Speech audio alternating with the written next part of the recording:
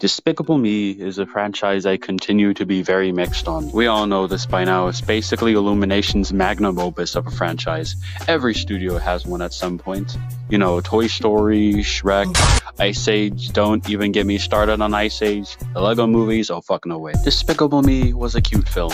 Just a simple movie about a villain who wants to steal the moon, while at the same time trying to adopt three girls. It was just really wholesome to see Gru's relationship in the girls, and you didn't get a heart attack every time you saw the minions on screen. A handful of their scenes didn't make me want to kill them, but uh, we'll get to that later. Then we got Despicable Me 2, and it's actually the best one in the entire series. Dare I say, better than most of Illumination's catalog. It still remains the charm of the original, has a banger soundtrack, it's a lot funnier, the girls are actually useful, I love Lucy as a character, and of course, it has El Macho. This is easily where the franchise peaked. Skip over to the Minions movie and basically everything went downhill from there. Like, you blink and then there's suddenly some fat guys slapping each other's asses. What? But the less we talk about that shit, the better. Despicable Me 3 is another movie that exists for some reason. Just the textbook definition of we only made this because the predecessors made a shitload of money, so fuck it, let's give Gru a brother. The only thing worth talking about it is the soundtrack and Trey Parker. Okay, next. Oh yeah, Minions 2. It was fine overhyped as hell, but a masterpiece compared to the first one. It's this part of the video where we finally talk about the long awaited, no, not long awaited, no one wanted this, Despicable Me 4. Wasn't particularly impressed by the trailer, but the one thing that caught my eye was that Gru fuck. That was really it. The the girls looked the same, the villain looked uninteresting, and the minions were also there. I guess there was also this girl wearing pink, but she just reminded me of Zhen from Kung Fu Panda 4. It's safe to say I wasn't looking forward to this one, but my curiosity got the best of me. I wanted to see if they could bring back the charm of the original first two. I just did a boom boom. I just did a boom. This is, of course, the part of the video where I tell you they make a shit joke in the first eight minutes of the movie, so what do you think I thought of it? This movie's boring as hell, bro. The movie is about this villain dude. I, I forgot his name, so I'm just gonna call him the cockroach. The cockroach wants revenge on Gru for some reason, so Gru's family has to go into hiding and have completely new identities. That's the movie. We'll take that money, thank you very much. This just felt like another Despicable Me 3, where it's just a collection of things happening. Things happen just to happen. And maybe that was the intent? Like, they wanted to make a slice of life movie, Studio Ghibli type shit, but but they certainly didn't do it well. Was that what they were trying to pull with this? It's like near the climax, the movie remembers, oh yeah, we have a plot. We should probably do something with that. Oh yeah, there, there is this other thing. So you know how like almost every Despicable Me movie is about Gru's relationship with someone? The first movie was about Gru and the girls. The second movie was about Gru and Lucy. The third one was about Gru and his stupid ass brother. Even Minions 2 was about Gru's relationship with Wild Knuckles. In this one, it's about Gru and his baby boy, creatively named Junior. This could have created parallels between the first movie and how he raised the three girls, but no, they barely touch on it. It felt largely unimportant to everything else. None of the dialogue was particularly funny, but it is better at visual humor, like most Illumination movies if you think about it. The animation is uh, I mean, I don't want to call it bad. It clearly isn't. It really gets old to you at a certain point. Part of the reason the Mario movie was so visually pleasing was its variety of colors and its beautiful backgrounds. It was basically just Mario with a higher budget.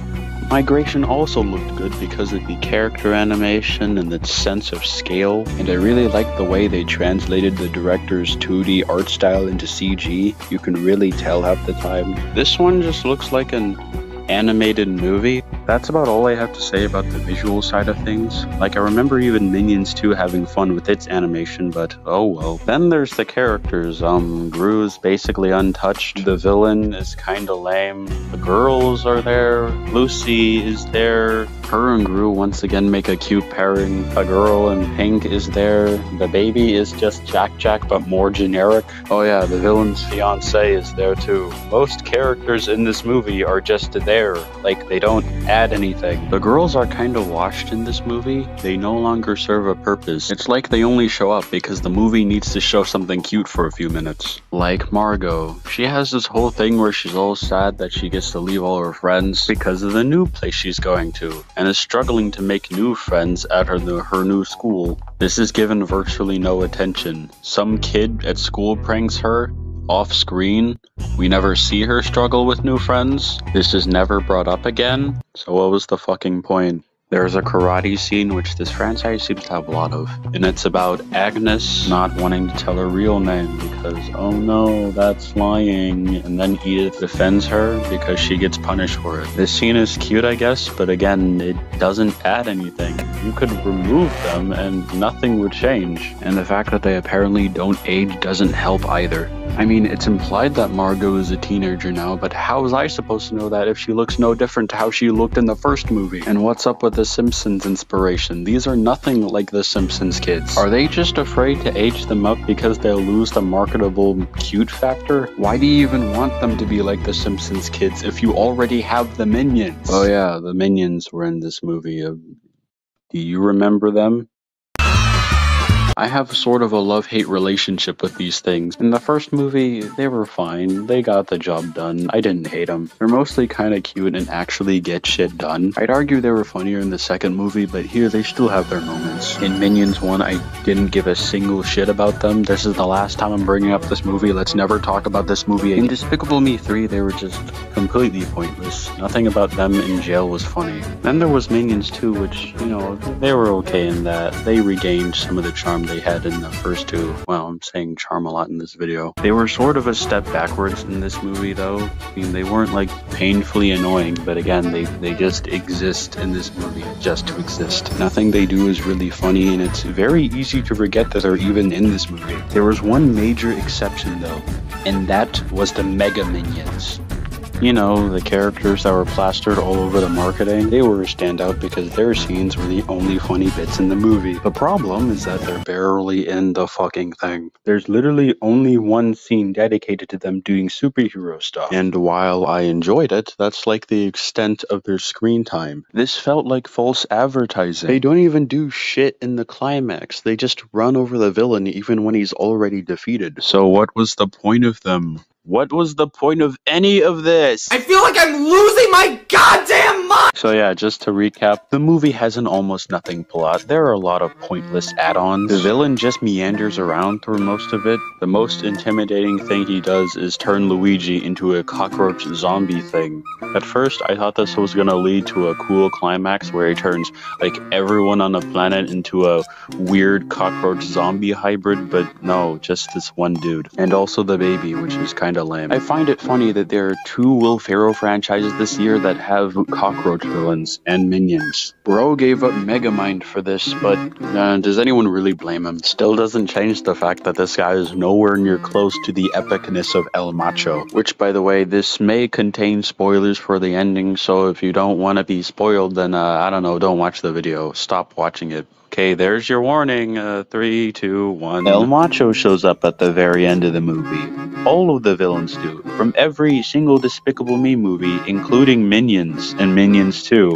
Even Vector is there, even though I thought he was stuck in space, but uh, I guess he's here now.